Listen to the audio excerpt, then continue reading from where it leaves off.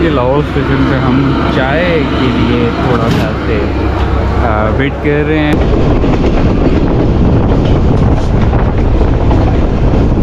तो ये नना मुना सा बच्चा भी हमारे साथ हमारी बोगी में सफ़र कर रहा है। ट्रेन आपका नाम क्या है?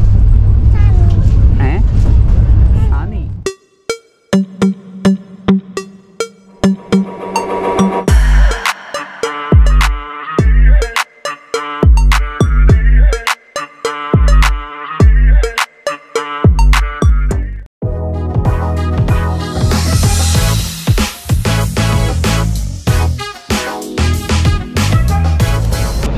जी, इस वक्त मैं मौजूद हूँ रेलवे स्टेशन रावलपिंडी और आज हम जा रहे हैं रावलपिंडी से हैदराबाद बाई ट्रेन तेज़गाम।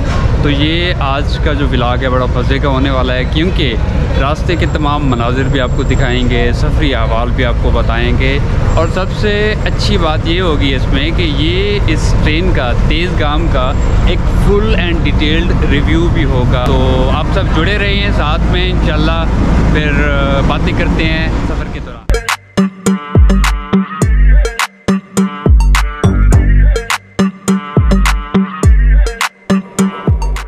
यहाँ पे जी एंट्रेंस होती है और ट्रेनों की आमदोरफ्त और टाइमिंग वगैरह के हवाले से लिखा हुआ है कि कौन सी टाइम कितने बजे आएगी। ये जी बाहर से आ, स्टेशन का मंज़र है रावलपिंडी रेलवे स्टेशन का। और ये हमारी ट्रेन है तेज़गाम जिसके ऊपर हम जा रहे हैं। स्टेशन खासा तवील है और साफ़ भी है। ये आप देख सकते हैं। डस्टबिन जगह जगह पे रखे हुए हैं, जो कि बहुत अच्छी बात है, बहुत खूबसूरत बात है। हाँ मौसम बहुत प्यारा है। अगर रेलवे के निज़ाम को ठीक कर लिया जाए, ट्रेनों वगैरह की हालत को बेहतर कर लिया जाए, नए ट्रेन हों साफ़ सुथरे हों, तमाम सहूलियात हों, स्पीड बेहतर हो तो यकीन करें कि सबसे जो बेहतरीन ज़रिए सफ़र है, वो ट्रेन है। अब भी पूरी दुनिया इस वक्त अपने सफरी जो इंतज़ाम हैं, उनको इस हद तक बूस्ट कर चुकी है, बेहतरीन से बेहतरीन तर कर चुकी है कि लोग पब्लिक ट्रांसपोर्ट ही यूज़ करते हैं और पब्लिक ट्रांसपोर्ट में ट्रेन ही को यूज़ करते हैं। तो हमारी गवर्नमेंट भी अगर इसको बेहतर कर ले तो ये बेहतरीन हो सकती है। ये जी पैसेंजर हेल्प काउंटर है और मज़े की बात यह है कि व्हील चेयर और फ़र्स्ट एड की सहूलत भी यहाँ पर मौजूद है। थोड़ी सी हिस्ट्री की बात करें तो रेलवे स्टेशन रावलपिंडी जो है वो अठारह सौ इक्यासी में, यानी ये बहुत एक कदीम रेलवे स्टेशन में इसका शुमार होता है। अठारह सौ इक्यासी में इसको बनाया गया था, शुरू किया गया था और अब तक I guess hundred and seventy three years एक सौ तिहत्तर साल से ऊपर का इसको वक्त हो चुका है। यहाँ पे आपको नान चने मिले तो हम जैसे थोड़े से फूडी बंदे उसको रिजस्ट नहीं कर सकते, नाश्ता भी नहीं किया हुआ था। तो हमने फिर लिए नान चने नाश्ते के लिए। यहाँ से ये भाई रेलवे स्टेशन के ऊपर यहाँ पे रावलपिंडी में होते हैं। अभी दस मिनट हैं ट्रेन को तो हम जो है ना नाश्ता इधर ही थोड़ा सा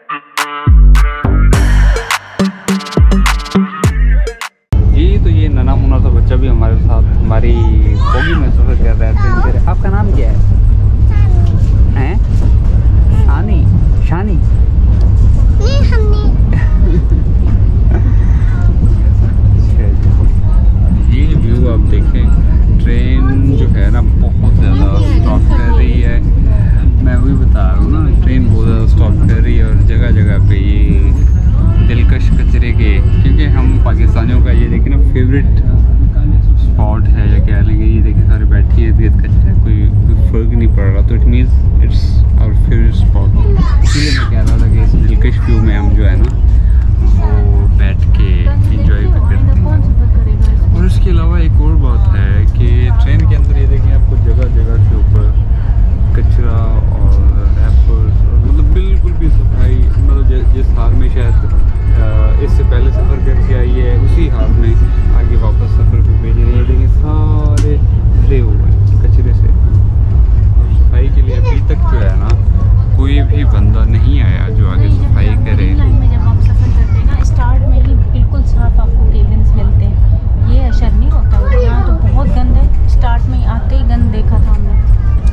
green line का एक म्यार उन्होंने बना के रखा हुआ है, लेकिन यहाँ पे वो चीज़ बिल्कुल भी नज़र नहीं आ रही है। जगह जगह पे कचरा है जगह जगह पे रैपर्स पड़े हैं, गंदगी हुई पड़ी है, और उसको मतलब कि एक दफ़ा भी कोई नहीं आया साफ़ करने के लिए।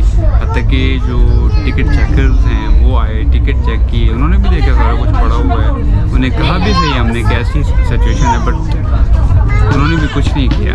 अच्छा जी कैबिन के अंदर जो है ना हीटर्स भी चल रहे हैं, जो कि अच्छी बात है। लेकिन मुसलसल चले जा रहे हैं। अभी मौसम बहुत हद तक नॉर्मल है।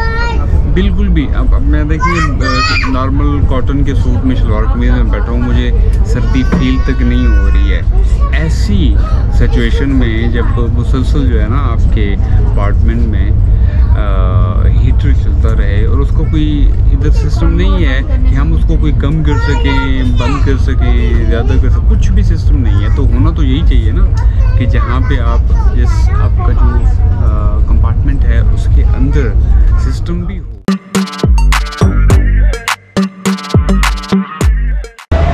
जी तो ये लाहौर रेलवे स्टेशन के ऊपर हम पहुँच चुके हैं और मैं जो है ना वो फ्लाई ओवर चढ़ के दूसरी साइड पे आया हूँ, फ़कत ये जो स्टेशन का व्यू है, ये आप लोगों के लिए कवर करने और कुछ क्लिप्स लेने के लिए ये देखें। लाहौर का रेलवे स्टेशन भी कहा जाता है कि कुछ पाकिस्तान के जो चंद बड़े रेलवे स्टेशन हैं उसमें से एक है और इस बात में कुछ शक नहीं है। अब देख रही हैं, मैं मतलब बहुत दूर से चल के आया और अभी तक माशाल्लाह ये वैसे ही है और ख़त्म नहीं हो रहा, अभी तक भी चल रहा है। एक चीज़ मैं बार बार कह रहा हूँ कि अगर गवर्नमेंट रेलवे सेक्टर के ऊपर तवज्जो दे और उसमें सहूलियात लाए नई गाड़ियाँ लाए बोगियाँ वगैरह। तो मतलब ऐसा लेवल का इसका आ, काम चल सकता है। इतनी बेहतरीन सर्विस के हर कोई रेलवे को ही प्रेफर करेगा कि कंफर्टेबल सा सफ़र हो और उसी को ही प्रेफर किया जाए। ये जो लाहौर स्टेशन पे हम चाय के लिए थोड़ा सा से वेट कर रहे हैं। गाड़ी थोड़ा रिवर्स हो रही थी, आगे पीछे हो रही थी और हर कोई ऐसे ना भागना शुरू हो गया गाड़ी जा रही है, जा रही है। पहले तो मैं भी भाग के चढ़ने लगा था, लेकिन फिर वो गार्ड कहते कि नहीं नहीं नहीं, आप परेशान ना हो, गाड़ी नहीं जा रही है रिवर्स हो रही है। तो गाड़ी रिवर्स ही हो रही थी। तो इसलिए जी बस चाय आपको पता चाय के बगैर फिर सफ़र जो है ना, वो मुमकिन नहीं होता है तो इसलिए चाय शुरू हो रही है। जी जी, मैं चाय लेके जा रहा हूँ तो आप जो है ना मुझे चाय वाला ना समझें। ये मैं अपने लिए और मिसों के लिए जो है ना चाय लेके जा रहा हूँ। और आपको पता है कि चाय के बगैर जो है ना सफ़र वो अधूरा ही होता है तो उसको मुकम्मल करने के लिए। ये दो चाय और हमने लिया साथ काला की बिस्किट और हाँ ये है ये है। ये बड़ा मुश्किल होता है ढूंढना इसको, स्पेशली। मुझे लगता है हमारे कंपार्टमेंट में ना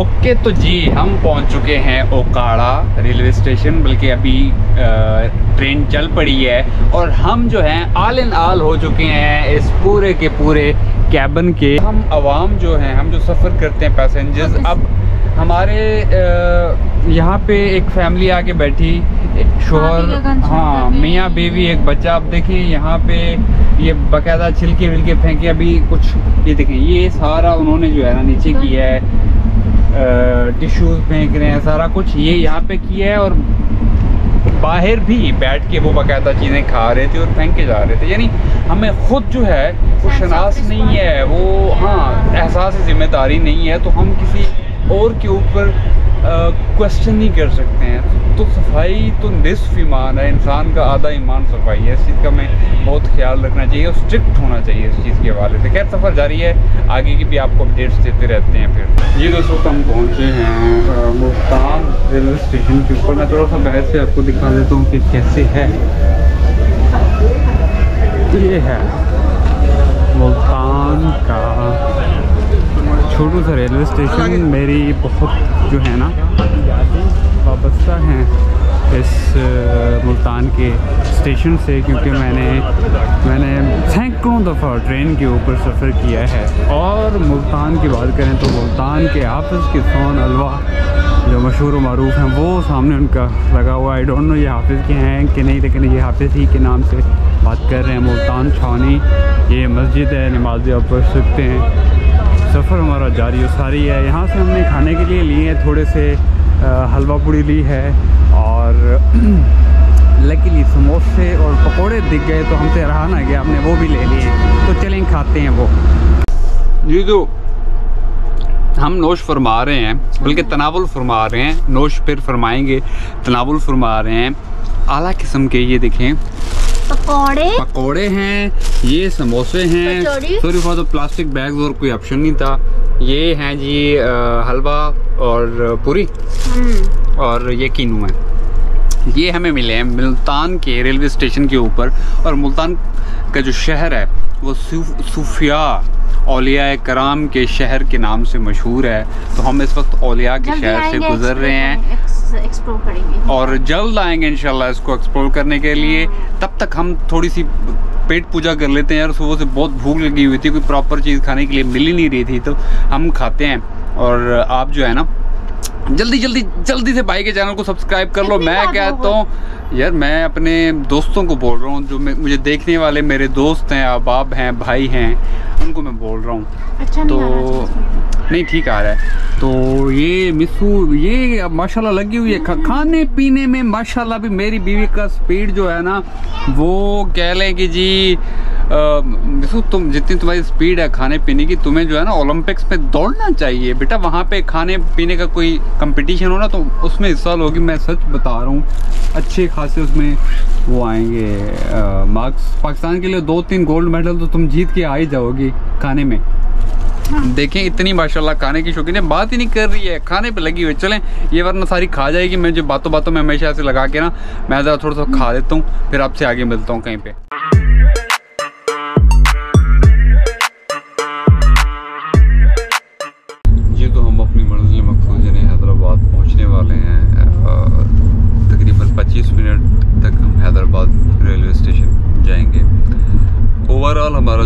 है वो बेहतर रहा है। यानी इसको बहुत ज़्यादा बेहतरीन भी नहीं कहा जा सकता और बिल्कुल जो है ना वो नॉर्मल या ख़राब भी नहीं कहा जा सकता। मैं दो चार दफ़ा पहले भी बता चुका हूँ कि अगर तो रेलवे अपने कुछ मामला को बेहतर कर लेता है तो यकीन करें ये बेहतरीन ज़रिया सफ़र होगा। बेहतरीन।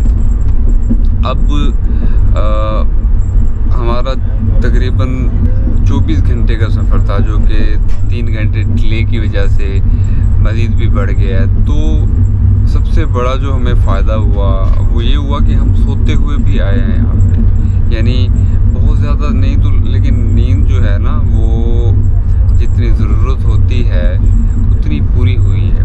और बहुत सुकून के साथ मतलब पाँव नहीं थके हैं, हम जो है ना ये अंडे वाला फेरा होता है जी यहाँ पे। तो कुछ चीज़ों को अगर बेहतर करें तो ये बेहतरीन हो जाएगा।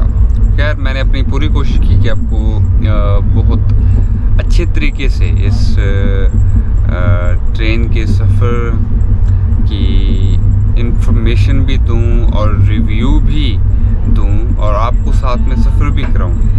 तो उम्मीद है उम्मीद है आपको ये व्लॉग पसंद आया होगा। अगर पसंद आया है तो प्लीज़ इस वीडियो को लाइक करें अपनी कीमती राय का इजहार करें और आ, मेरे चैनल को सब सब सब्सक्राइब सब्सक्राइब सब्सक्राइब सब्सक्राइब करना हरगिज़ मत भूलें। सुबह सुबह का टाइम है और अभी मैं नींद से जागा हूँ। तो आपको भाई की आवाज़ में एक गनूदगी एक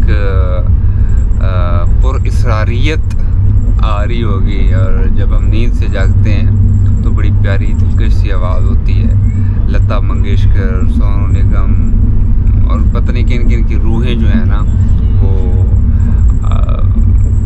आवाज़ में असर कर रही होती है।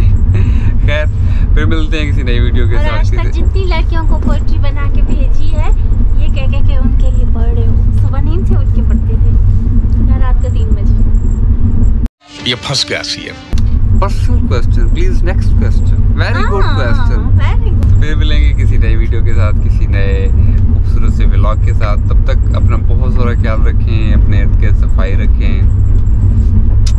अल्लाह हाफिज़।